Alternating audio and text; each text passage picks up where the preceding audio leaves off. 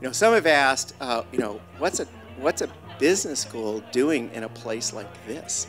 and the answer is everything. We are here today to celebrate the opening of the Reef, which is the new downtown space. There's a dynamic feeling in the Reef. It's a fabulous location. There's a lot of excitement in the building. If you want to be in close contact with the movers and shakers in the creative industries, they're in downtown LA. Welcome to the revolution. Everything you thought you knew and I knew about innovation, creativity, and the arts has fundamentally changed in the last decade.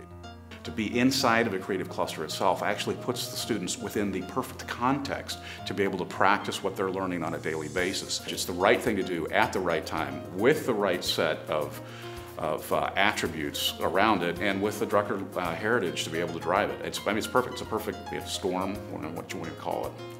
you know, Peter Drucker said the best way to predict the future is create it. You know, and we are, we are doing that. We're creating a management school that unites business and art, creativity and management. Why LA? This is the creative center of the world. And why CGU?